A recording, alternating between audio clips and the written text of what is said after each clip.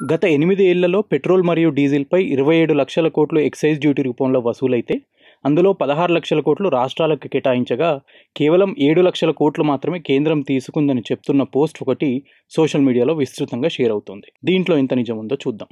ఇటీవల లోక్సభలో కేంద్ర ప్రభుత్వం అందించిన వివరాల ప్రకారం రెండు వేల పద్నాలుగు పదిహేను నుండి రెండు వేల ఇరవై ఒకటి ఇరవై రెండు అంటే ఏప్రిల్ నుంచి డిసెంబర్ మధ్యకాలంలో పెట్రోలియం ఉత్పత్తుల ద్వారా కేంద్ర ప్రభుత్వానికి సుమారుగా ఇరవై ఐదు లక్షల కోట్ల ఆదాయం వచ్చింది. అయితే పోస్టులో చెప్తున్నట్టు కేంద్ర ప్రభుత్వానికి వచ్చిన ఆదాయంలో పదహారు లక్షల కోట్లు రాష్ట్ర ప్రభుత్వాలకు వాటా అందించినట్టు చేస్తున్న వాదన కరెక్ట్ కాదు. ఎందుకంటే సాధారణంగా కేంద్ర ప్రభుత్వం పెట్రోల్ లేదా డీజిల్ పై basic excise duty special additional excise duty అంటే cess plus additional excise duty అంటే cess plus agriculture and infrastructure and development cess అనే నాలుగు పన్నుల రూపంలో సెంట్రల్ ఎక్సైజ్ డ్యూటీని విధిస్తుంది. అయితే ఈ నాలుగు రూపాల్లో వసూలు చేసి ఎక్సైజ్ డ్యూటీలో కేవలం బేసిక్ ఎక్సైజ్ డ్యూటీ కింద వసూలు చేసే దాంట్లో నుండి మాత్రమే రాష్ట్రాలకు వాటా ఉంటుంది. మిగతా మూడు పన్నులు సెస్ రూపంలో వసూలు చేస్తారు కాబట్టి వాటిలో రాష్ట్రాలకు ఎటువంటి వాటా ఉండదు. ఇక్కడ గమనించాల్సిన మరో ముఖ్య విషయం ఏమిటంటే బీజేపీ ప్రభుత్వం ఎక్సైజ్ డ్యూటీలో రాష్ట్రాలకు వాటా లేని సెస్లను పెంచుతూ రాష్ట్రాలకు వాటా ఉన్న బేసిక్ ఎక్సైజ్ డ్యూటీని తగ్గిస్తూ వచ్చింది. రెండు వేల పద్నాలుగు నుండి రెండు వేల పదిహేడు వరకు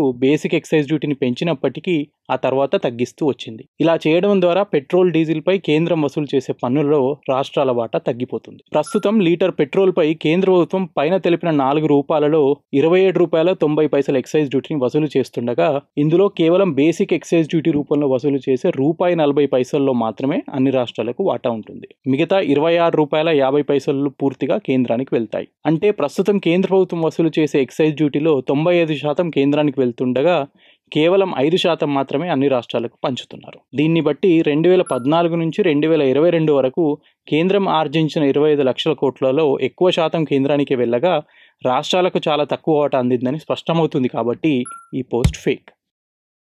సోషల్ మీడియాలో మీకు ఏదైనా పోస్ట్ తప్పుగా అనిపిస్తే ఈ నెంబర్కి ఫార్వర్డ్ చేయండి. అందులో ఏది ఫేక్ ఏది నిజం అనే విషయాన్ని మేము ఫ్యాక్ట్ చెకింగ్ చేసి మీకు పంపిస్తాం. సరైన సమాచారాన్ని అందరికీ చేరవేయడం కోసం ఈ వీడియోని షేర్ చేయండి. ఫ్యాక్ట్లీ తెలుగుకి సబ్స్క్రైబ్ కండి.